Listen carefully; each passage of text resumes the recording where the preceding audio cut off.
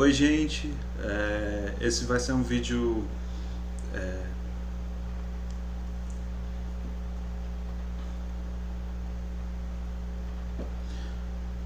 Oi gente, é, esse é um vídeo sobre os temas do 007, sobre trilha sonora, sobre Radiohead, é, enfim, eu vou estar tá falando aqui sobre é, como você cria uma identidade musical em, em trilhas sonoras, certo? É, ou algo assim. É, eu não vou editar esse vídeo, eu estou gravando direto do celular, então talvez eu divague um pouco e, e vai acabar ficando no vídeo original, mas enfim, é, vou tentar ser objetivo, certo? Basicamente o que eu queria dizer aqui é sobre os temas musicais do 007, certo? É, mais particularmente sobre as músicas de introdução de alguns dos filmes é, mais novos do 007 com o Daniel Craig, né? É, e você tem aquelas músicas do, do começo dos filmes com aquela animação e tal e que eles chamam artistas grandes para é, fazer né, essas músicas. É, mas a, a, existe um tema do 007 que, que é clássico, que todo mundo já sabe é, o que é só de ouvir, certo? Que é esse aqui, ó.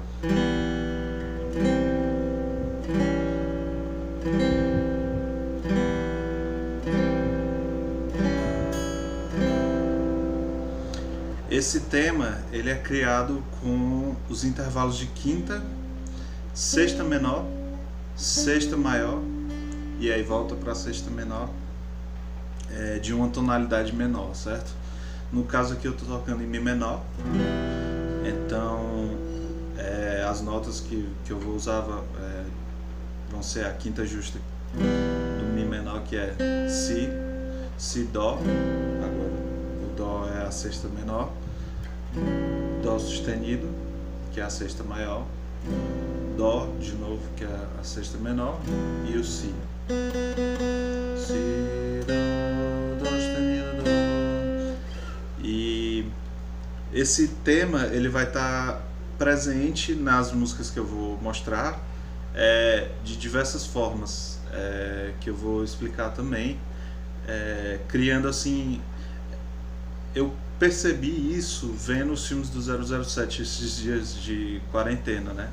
E aí eu fui, fui tentar entender o porquê exatamente que as músicas pareciam parecidas, é, o porquê que os acordes é, pareciam similares, enfim. E aí eu acabei achando essa relação. É, e, enfim, a, a primeira música que, que eu vou utilizar como exemplo é a You Know My Name do Chris Cornell, tá no, no filme Cassino Royale, que é o primeiro da série, né, dessa nova série. E nesse, nesse, nessa música é muito fácil de ouvir esse tema porque ele vai estar tá na voz do, do Chris Cornell no refrão, certo?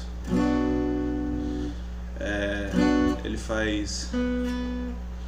Arm yourself because no one else here will save you. Your arms will betray you And I will replace you. Yet another pride may never fulfill you. É, essas três notas, né?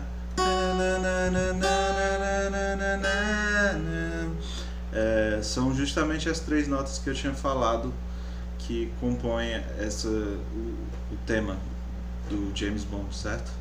Que aqui ele está em Si menor, na tonalidade de Si menor.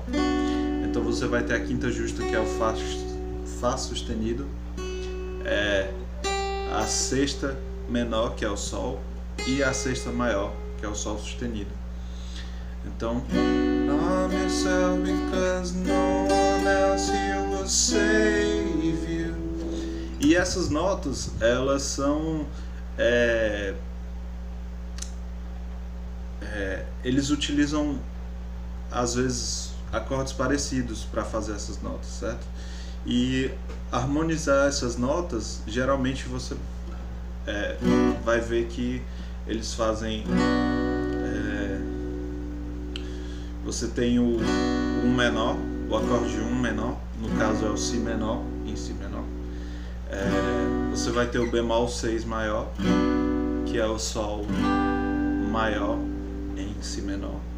E aí você vai ter o 4 maior, que é o Mi maior no Si menor. E esses acordes vão ter as notas, é, as notas do tema, né? Por exemplo, o Si menor vai ter o Fá sustenido, o Sol maior vai ter o, Sol e o Mi maior ele vai ele já sai da, do modo da tonalidade menor natural, né? E vai ter o Sol sustenido, que dá uma característica meio dórico, é, segundo modo, ou alguma coisa assim. É... E aí, é... então a gente mostrou como está é, presente na música do Chris Cornell. E aí você tem Skyfall da Adele, certo? Skyfall, ela vai ser em dó menor. E ela não vai ter o não vai ter as notas mais no, no na melodia da voz, apesar de quase, mas ela vai estar tá ali no arranjo da música no geral. É, não saberia dizer onde exatamente, mas é, se você ouvir, os acordes vão ser é, esses que eu citei, né? Vai ter Let the sky fall when it crumbles We will stand tall and face it all together at the sky fall when it crumbles We will stand tall and face it all at skyfall. É, então ela está utilizando no refrão especificamente, porque no verso ela faz o 4 menor e o 4 menor não tem a, a nota característica, mas é, no refrão ela vai fazer Skyfall, aí o bemol 6 maior We will stand tall.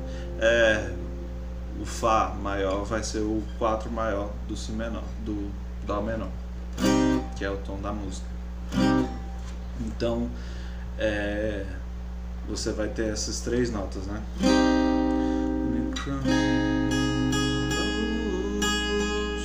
We will stand E aí ela não faz a nota, que é seria a melodia da voz faz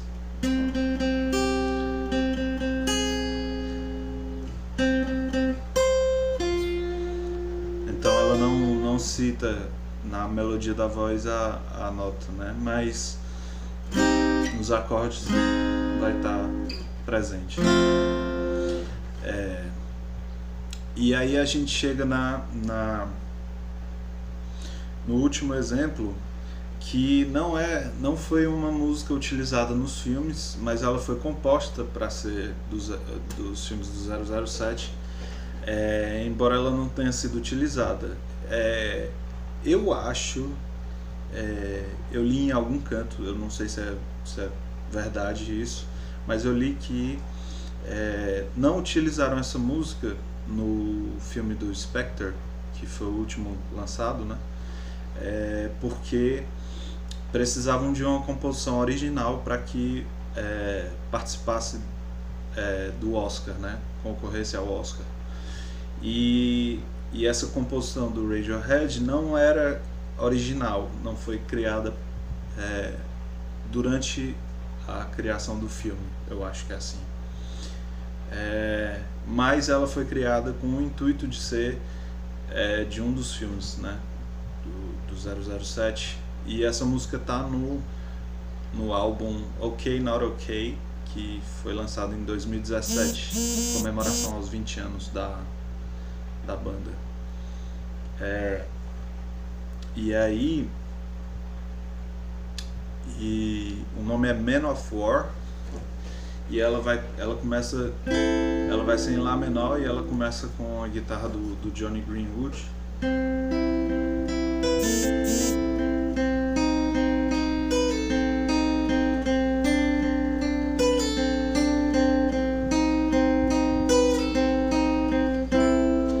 E aí aquelas notas é, vão estar presentes na linha do baixo, que é uma coisa interessante, que vai alterar até a forma como a gente percebe os acordes da, da música. Ela começa, a linha do baixo começa assim, eu acho.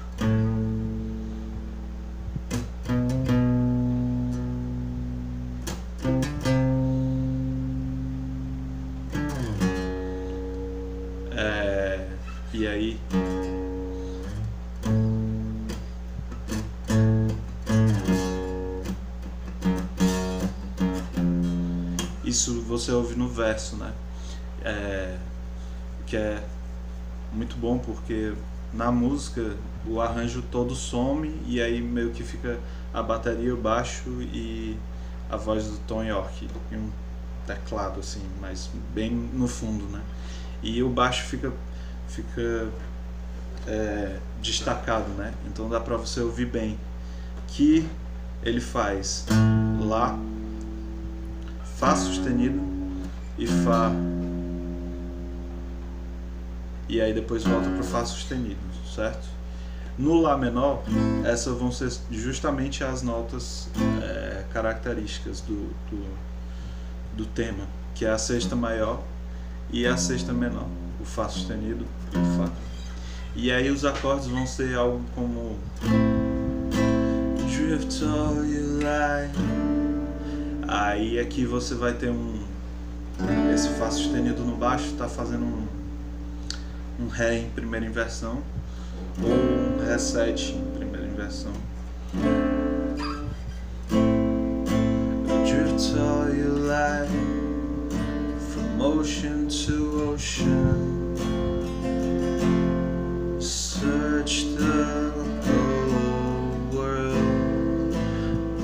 Drunken confessions and hijacked affairs just make you more alone. Então, essas notas elas dão a característica da fazem uma referência ao tema original do James Bond, né? Ou pelo menos assim eu penso. Eu não sei se é se vocês perceberam isso. É, se vocês perceberam, digam nos comentários se não, não, não tem nada a ver isso aí que tu tá dizendo, também digam. É... E, assim, claro que não é só isso que dá a característica da, das músicas, né? É... Você tem toda uma composição elaborada para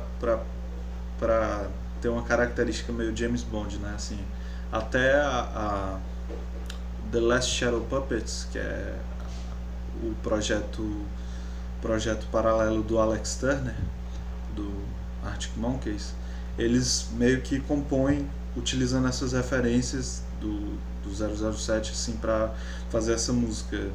É, que eles dizem que tem referência de David Axelrod é, que é uma coisa assim mistura música clássica com rock ou, ou alguma coisa assim é, você vai ouvir guitarra e, e violinos, enfim. E é bem interessante essa estética, né? A, a utilização desse, desse, dessa, dessas cores, desses instrumentos nessas músicas, né? É, e, mas, enfim, como esse vídeo está focando na análise, análise melódica harmônica, né? É, eu queria dizer que isso talvez não seja exatamente original, talvez tenham outros vídeos sobre esse assunto, mas é, foi a minha visão sobre o tema. E eu não posso deixar de falar que isso, é, essa característica de utilização de temas musicais para identificar um, uma, alguma coisa nos filmes ou alguma coisa extra musical, é, ela já, já é uma coisa antiga. Assim, é, no, no Star Wars você também vai ter esses temas que vão caracterizar personagens específicos, né? É, e assim, isso se origina da ideia de leitmotiv, que era eram pequenos motivos temáticos é, utilizados na ópera romântica é, e uma das figuras que você vai ter um destaque nisso é o compositor Richard Wagner, que era austríaco-alemão, é, aparentemente era nazista, ou talvez isso não seja verdade, mas talvez seja, é, pelo que eu lembro de ter lido assim. Eu sei que Hitler era fã dele, é, mas enfim, ele, ele uma das características das óperas dele era a utilização desses leitmotivs, que são pequenos temas ou frases musicais que identificam personagens durante uma, uma ópera, né, no caso. É, então, é, leitmotiv moderno, Radiohead, 007 e é isso. É, fiquem em casa, fiquem bem e obrigado por assistir. Tem outros vídeos aí no canal, tem covers e se eu tiver alguma outra ideia de vídeos que nem esse, eu vou estar tá postando.